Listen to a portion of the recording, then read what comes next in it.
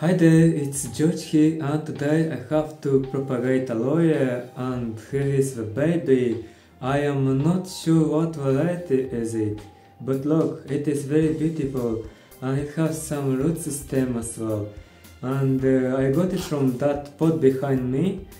Uh, someone gifted me that pot of ginger and it was this aloe in that pot as well. So I removed that aloe from the pot and it means I repotting it.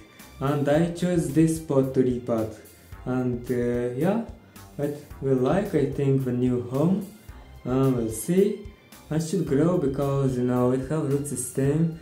And uh, I am not sure what variety of aloe it is. But uh, we'll see. When it will grow and we just need to plant it. And I will have to use potting soil and for succulents and kind of uh, let's do that. Well first of all let me show you this beautiful aloe with root system. And on the leaves close up. It looking gorgeous. And as well root system. Well uh, the holes on the pot should be many because it should have drainage. And as you can see there are many holes. And let's finally plant this beautiful aloe. First of all I will add potting soil in the pot. It is an universal potting soil with pH 5 to 5 to 6.5 and I think will be good for aloe. Well, after I added potting soil, let's plant the aloe plant.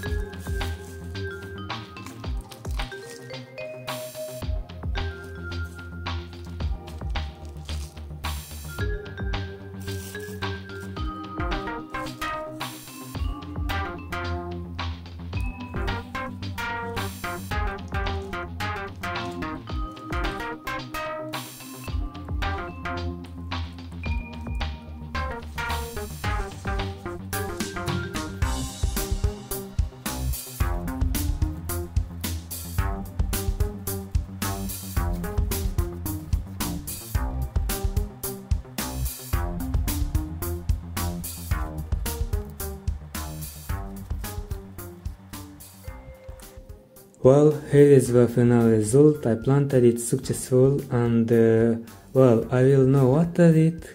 As you can see, it's beautiful. I will do another video when it will grow, but in springtime I guess.